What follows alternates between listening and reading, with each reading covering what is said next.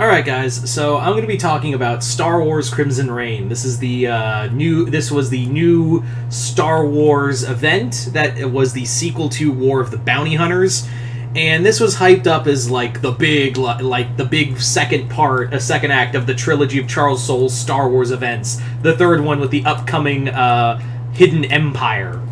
Now, for reference, um, what happened in War of the Bounty Hunters, because it's been a while since uh, that's been out. Um, in during the War of the Bounty Hunters, the Crimson Dawn had basically announced itself, led by Qi'ra from the Solo movie, that they were going to go to war with the Empire, and specifically the Sith, Vader and Palpatine, to free the galaxy of its control. And yeah, that was where it left off, and they had united with several. Uh, they had like agents in the Empire. They had like uh, all these little like their tendrils were like everywhere, like Hydra.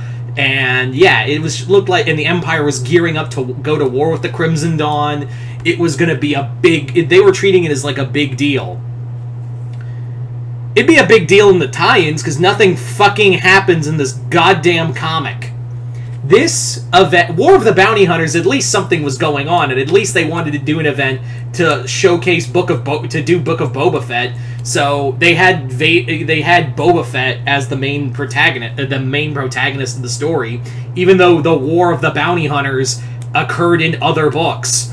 Here the crimson Reign happens in other books because literally three of the five issues is all about backstory for characters that don't mean anything in the long run. Also, I'm really sorry, but Qi'ra is not interesting as an antagonist. She is like it's cool that we're like acknowledging the Han Solo movie. It is cool that we're acknowledging that story. But really, there's nothing here. Like there's literally she is not interesting as a foil to uh, to Darth Vader and Palpatine.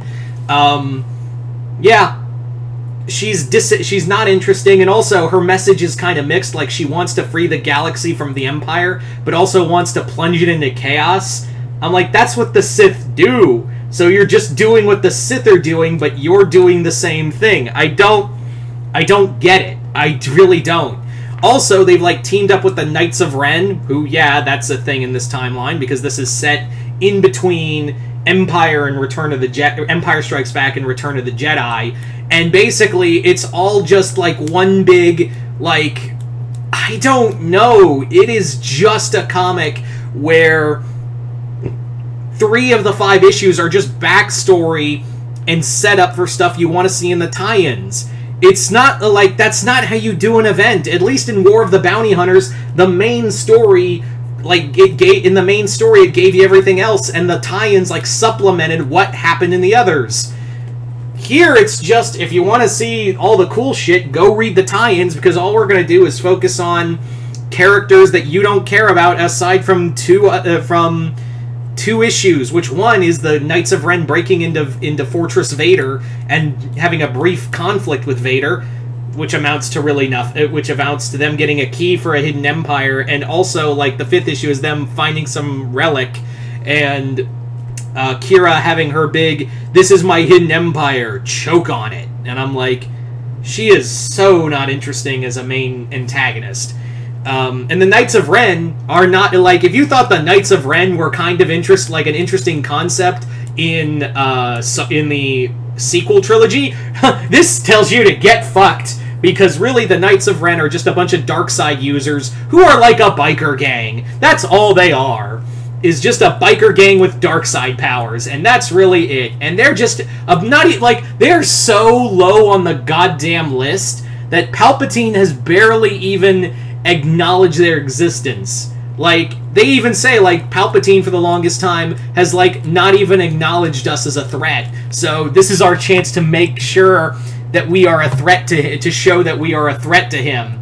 And yeah, I'm like this is this what these were the big the big characters Kylo Ren wanted to like this is the t the guys that would one day um like these are the guys that would one day be um Kylo Ren would turn against the Jedi Order for to become the master of? These guys? These douchebags they're all also really stupid even their leader is more like a is more like a just a thug who's like a, he's basically like the jock quarterback with a red lightsaber. Um, there's nothing here that happens that you know. Do you want to see what happens with um, Vader investigating the assassination of several guards, not knowing that Ochi, who is also from the sequel trilogy, who kills Rey's parents? Um, do you want to see what happens there? Well, go read the Vader tie-in. Do you want to see this relic that um, this character called the Archivist, who's also looking for Yoda, um, ha- uh, what that's from? Go check out the Aphra tie-in because this thing is literally just sh- uh, set up for tie-ins. And I know tie-ins to comics can sometimes be important to the main story, but for the most part, most of Marvel events these days don't really depend on tie-ins. They're more to supplement the main story because they can tell the story without needing something you to do homework to read other books and spend more money. Ugh. So, yeah, also Crimson Dawn, Akira is like I've said multiple times, Qi'ra is just not interesting as a villain. Like I'm like every time she's so the only thing that is interesting is this leader of this group called the this uh, group of thugs called the orphans who their leader is actually the daughter of a gir- of a pair of um, bounty hunters who tried to kill Vader in Charles Soule's Darth Vader Dark Lord of the Sith comic, which I kind of like. Um, so it was a nice callback to his to, to his early run, and I do like. There is another scene where this character called the Archivist is basically talking about um, uh, this whole thing about how the Empire like suppressed the Jedi legacy so fast. But that's really it. There's real also this character named Deathstick who's a Night Sister. I'm like, how many Night Sisters survived? Because it seems like a good number of them survived Grievous's uh, massacre on the planet. So, all right, whatever.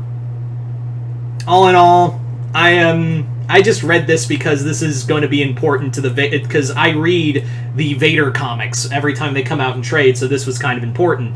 It wasn't like it was kind of funny because I got the War of the Bounty Hunters Vader tie-in volume um, first, and then later I got War of the Bounty Hunters. So this I got first, so now I'll, I'll read that and probably enjoy the Vader tie-in way more than this garbage. And I know I'm going to have to read The Hidden Empire because that's going to be tied in with the Vader comics. Because I, if anything, I will read the Darth Vader books. But yeah, so there you go, guys. That is Star Wars Crimson Reign. I mean, if you're a Star Wars completionist, give, you'll have to read this, but yeah. This is not like the big, exciting, like, Qi'ra and the Knights of Ren team up to take on the Empire and find the secrets of the Sith, like it was billed as. This is nothing. This is nothing total nothing and I spent like oh, like sixteen dollars. It was like sixteen ninety nine. If it was uh, like yeah, I feel still feel like I spent too much on this fucking shit. Ugh. Anyway, so there's my review. Hope y'all enjoyed this. Uh, check out my Patreon for exclusive content. Other than that, I'm Mr. Multiverse. I'll see you next time in the multiverse.